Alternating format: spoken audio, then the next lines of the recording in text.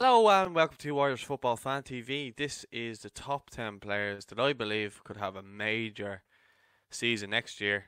And I'm going to start at number 10 with Borussia Mönchengladbach's Conor Noss, an Irish underage international who, since the restart especially, has featured on the bench a few times for Mönchengladbach. Now they have qualified for the Champions League. I think that they're going to be using their squad a lot more next season, so it'll be interesting to see how the 19 year old gets on. You know, does that mean he might get a call up for either Jim Crawford's under 21 team or will he be called up to Stephen Kenny's team? It's it's a very interesting one to kind of see how that plays out. Will he get the game time that he probably deserves? He's kind of a, a midfield, attacking midfielder, kind of second striker type player. If you're to go by what transfer markets say, anyway, um, so he is definitely one to watch next season. Seems to be really highly rated. He's training with the first team all the time, and as I say, they're in the Champions League for next season. So, you know, I think that they'll be using their squad a lot more next season. So, keep an eye out for him. Next up at number nine is Conor Coventry. The Conor is, was on loan at Lincoln from West Ham, but it's um it's it's evident to see like how good he was with the Ireland under twenty ones, what a player he can be, and if given the time and I suppose you know uh, being let play minutes, it's only going to help his development. He's twenty years of age, and I think now he needs to play as much football as possible for him maybe that's more from an Irish selfish point of view, but if you know, I'm led to believe from my contacts in West Ham fan TV that they really, really rate Conor Coventry and David Moyes is allegedly going to be investing a lot in youth for the next few seasons. So Conor Coventry may get a chance if someone from um, I believe Mark Noble's winding down a little bit, so they're maybe going to try and usher him out slowly out the door. So I think that's only going to be good news for Conor Coventry. And uh, watch the space for him because I really believe he's a top player. Number eight, Gavin Kilkenny at Bournemouth, who at the start of the season, especially pre-season, uh, really impressed Eddie Howe, and he was talking him up a lot. He ended up getting signed a new contract, I think, and yeah, it just looked like he was going to get a bit of an opportunity this season, but he just hasn't really got two appearances in the EFL Cup and hasn't really done it. But I do think that Bournemouth are going to go down. Um, this this video might backfire me if they don't, but I, I believe if they go down, it's only going to be beneficial for, for Gavin and his game time. I think he's a quality player. He's skillful. You know, he can get around the pitch and stuff like that, and He's played a few times with the under 21s, and you can see the impact he's made with them. I know under 21 football isn't senior football, but he's a very talented player, and I'd like to see him get game time. I think next season could, could prove to be a huge season for him, especially if they go down to the championship and he's given a chance to be able to perform regularly. You've seen players do it this season, Dara O'Shea, for example. So hopefully he's given the opportunity if they do go down. So don't go on them going down just yet. But if they do go down, I do believe that he will have a, a really good season next year, and um, you know I think you should keep an eye on him. Number seven is Darragh Leahy at Dundalk. He obviously signed from Bohemians, and a big deal was made of it because obviously, um, he is he was in the, nominated for Player of the Season at left back for two years in a row, Team of the Season, and when you're looking at around the league, there's not many other top left backs available, so why not sign the next best one and push Dane Massey to his limits? And I think Darragh Lee, he, he was coming off the back of a bad injury and they still signed him, so I think that showed the faith that they had in him. You know, I remember him turning up in a leg cast when he first signed for them, so I think Darragh has the potential to be an Ireland left back you know, it depends on how much game time, what he does with Dundalk. You know, if if Dundalk can go on a European adventure and he's the main left back, I mean, that's only going to bode well for him and the league. So I think that's definitely something exciting for him and Dundalk and Dundalk fans. Um, I suppose Irish fans in a way because he is a really exciting player. Um, Stephen Kenny had him in his under twenty one team, brought him to the Toulon tournament he's 22 now, so now is the perfect age to get him in and just make him that n- number one spot. Um, I know Dane Massey won't give it to him easy, but that's probably just the competition that they won't need to kick on from here. So I think it's only going to be healthy competition for Darragh. I think he's only going to get better. So again, keep an eye on Darragh Leahy at Dundalk. Number six is Josh Cullen, who I only found out recently he's actually 24 years of age. So I think at this point in time, either Josh needs to get into the West Ham team or leave West Ham altogether because he's 24. International careers come and go, as well as football careers. And you know, if he realistically wants to be an Ireland regular, he probably has about 10 years um, to be a regular from 24 to 34, usually in and around that, unless you're Glenn Whelan who surpasses that. But, um, you know, Josh, it was evident when he was taken out of the Charlton team through injury that, you know, the results just plummeted. And, you know, you can see how much they mean. He's obviously a quality player and just can't get into the West Ham team.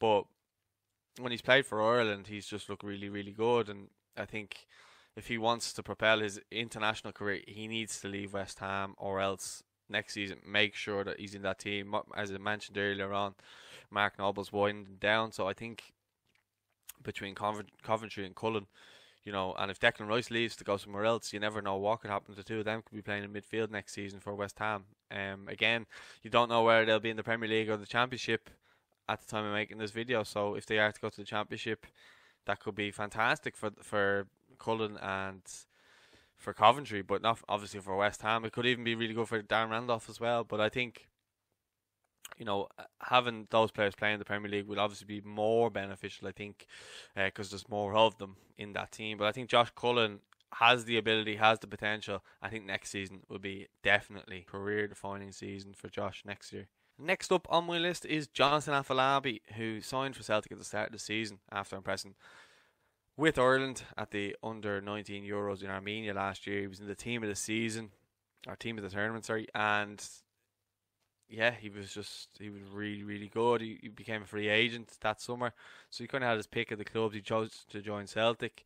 Got injured towards the kind of start of the season, and he was just unlucky with injuries. Really, I think um, he said himself, you know, as soon as he got in, he got injured. He couldn't really catch a break, and then he got his break then because he joined Dunfermline on loan.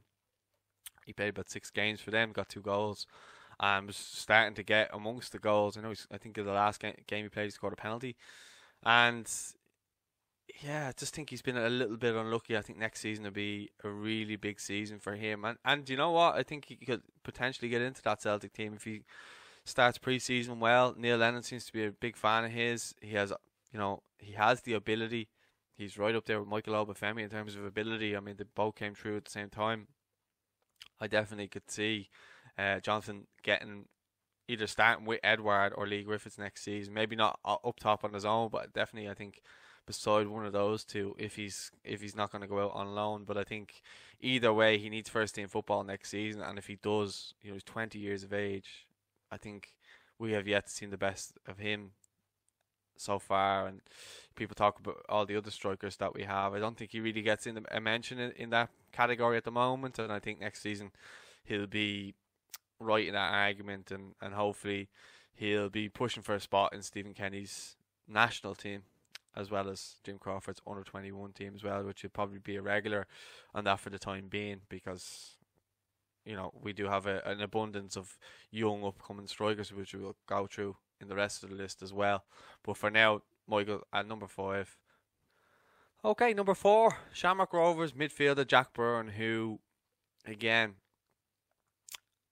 started the season so well and was just, you know, it was come, it came to a halt with the coronavirus. You know, everyone remembers anyone who follows the League of Ireland who remembers the goal he scored against Dundalk, which was really, really set the the championship alight. I suppose um, the title race, and you know he's just since the start of the season he was absolutely excellent. Obviously, from training with the Irish team and, and being amongst them, his confidence was absolutely sky high, and he was coming into the. I think he had five games, three goals, you know, maybe one assist as well. So he has been absolutely flying, and it's just so unfortunate for him because he was looking like he was going to have the season of his life and now we kind of come back. He's 13 games, um, you know, and then the season stops again, which is which is really unfortunate. Will he be in Stephen Kenny's Nations League team? Who knows? But I think next season is going to be a real make or break for Jack because there's a lot of people saying that you know he needs to go to England to become an Ireland regular and stuff like that. I don't know if that is the case because Stephen Kenny seems quite loyal if players are playing well, and he believes that they can bring contribute something to the team that he would probably have them in. So that again is interesting. If he did go to England, I think it would be beneficial for him. But again, he likes being home. He likes being able to go on golf whenever he wants. He likes being able to be back with his family after kind of a lot of teenage years without his family. Um, he lost his dad quite young as well, so that obviously would have had an effect on him. And uh, he just seems to be enjoying life at the moment, which I'm really happy to see because I know him personally, and he's a, he's a great fella. To be fair to him, and you know I'd love to see him just if he does go back across the water uh, or stay here, I just hope it's the right move uh, at the right time and they play the right football because Rover seems to be the, the club that he plays his best football at because everything goes through him. And if he can stay at Rovers and do it, happy days and, and maybe, you know, do something with Rovers in Europe. Like I said, with Darragh Leahy and Dundalk. Now, obviously, it's going to be hard for Darragh because he plays left back, but Jack is the heartbeat of that Shamrock Rovers team, and they've quality and abundance there as well. Um, I, I, can't stress enough if you, if you get a chance to go and watch Shamrock Rovers this season, I would definitely recommend it. Um, and then moving on, number three, it's Michael Obafemi at Southampton. Uh, he's just he's had a, such a stop start season. He's, he gets in, starts doing well, scores a couple of goals, then gets injured, and it keeps to be keeps being an ongoing case with Michael. Unfortunately, he has you know, 18 Premier League appearances this year, and he's got three goals. Um, and he scored goals against the likes of West Ham, Chelsea, and Manchester United, a late equaliser. So he knows where the goal is against the big teams as well. Doesn't seem phased against bigger teams. Stephen Kenny's a massive fan of his, especially the under 21s. He used to keep in contact with him quite regularly when he was under 21 manager. And you know, of all the players that are playing at the moment in the Premier League, Obafemi's the only one that's really scoring regularly on a from a youngster's point of view. I, I say three goals and I say regular, but as I mentioned, he's had a stop-start season, especially with the coronavirus that as well. You know, when we're coming up to the last international break, he was doing quite well. He was playing. Ralph ha- Ralph Hasenhüttl, sorry, um, seems to be a big fan of his, and and, and doesn't seem to really let him away with much, which is what I think is the right thing to be doing for him at the moment. I think he needs to mature a little bit. And I think Ralph Hasenhüttl is the right manager for him. And I think maybe next year he could get the like a real good tune out of Obafemi. And the fact that they've his Irish teammates knocking around now with Smallbone and Shane Long and even Will Ferry, they've got a good strong Irish core there. And he just seems to be enjoying life at Southampton. He seems to love the club. He seems to love the manager. Although I'd say at times their relationship can be a bit funny, uh, because he's probably a very very demanding coach. But he only wants the best from his team, and you can see how he gets results. I think Michael next season, you know, he should be aiming to finish the season with at least ten goals, ten, uh, 10 Premier League goals. And Southampton, I think I predict next season will be really good. So that's what I feel about Michael. On to number two, and Troy Parrott. I think with Troy, it's a case of just is it, it luck and just it, yeah, it's just it's difficult with Troy because you, everyone wants to see him do well. There's so much hype around him, and he's played two Premier League games and he's been sub, came on a sub for both of those games. And if you're kind of looking at his record, then at I mean he's 18 years of age. Okay, he's made two Premier League sub appearances. But in the Premier League, two, he's made two appearances, scored three goals, and then in the UEFA Youth League, he scored uh, six goals in four appearances as well. So he knows where the goal is, and he's obviously been capped by Mick McCarthy at international level, playing against New Zealand, and was in the squad against Denmark as well. Obviously, he has talent there. There's been some off-field issues that you know Mourinho has addressed, going on holidays when he probably should have stayed back at Spurs training ground to get extra training in, especially at a time when Son and Harry Kane and Lamela, I think, were all injured, and he probably should have been number one. But Lucas Moura was playing a striker because he just seemed like he couldn't trust Troy that much. So he's 18 years of age now. Um, he'll be going into next season, I imagine, with the head down. You, you'd hope he's going in with, with the head down and really hoping that he can make a difference for Spurs and for his career because I think it's going to be a big summer for Spurs in terms of the transfer market? And if he doesn't get in with Spurs, does he go out on loan? And if so, who does he go on loan to? Because I think he needs first team football. He has the ability, he can score goals. And uh, if you can score goals in the team, it'll fast track you in any way. I think he mentioned that before when he got called up to the Ireland team. The fact that he was scoring goals so freely that he was called up to the team. So I think he's young and fearless, and he just needs to be. You know, I think he just needs the, the shackles to be let off him and let him have a, a season, first team men's football, and see how he gets on. At number one, it's Adam Idah for Norwich City. He's 19 years of age, and for me, he's the most exciting of all our strikers. He just has such a big, powerful um, way about him. He's quick, he's fast, he's big, he's strong, he can head the ball, he has unbelievably quick feet, and I just think he just hasn't been given the game time that he's probably warranted. I look at Pukki, I look at Drmić, and they haven't done anything, especially since the restart. Um, obviously during the season, Pukki was brilliant, so I can understand why he wasn't getting in then. But now, I think the fact that they're relegated now, I think he should be getting in game time for the end of the season. It's it's it's mad why you just won't play him. It's not like they're playing for any points or anything like that. And at the same time, you know when he has been given chances starting, I mean, he scored a hat trick against Preston. And is he any worse than what they have there at the moment? Should they not be looking at him for next season and looking at him as being the main man? And that's why I have him at number one. I think if um, he's given the game to him, I think next season could be a huge season for him. And I think if he hits the ground running with Norwich and he's scoring regularly in the Championship, I think he can fire them back up to the Premier League. I think he's a really, really good player. And I think if he doesn't get them up to the Premier League, I think he'll get a transfer and another club will come in for him. But he just really, really looks the real deal. Um, he just needs to add goals to his game, but he also needs to get full games to be able to score goals. Um, so next season is going to be a huge season for him, I think, and it's really exciting if you go through the list there that I've made up. Um, you know, all there's, there's more players on that list that probably are unlucky not to make this top ten, like Aaron Connolly, Jason Knight, Jason Molumby, all these types of players. But I've I've done other videos and I featured them in it, so I just said I'd do another one.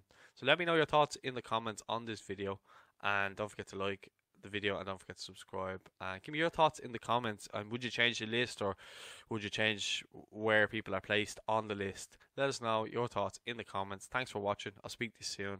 God bless.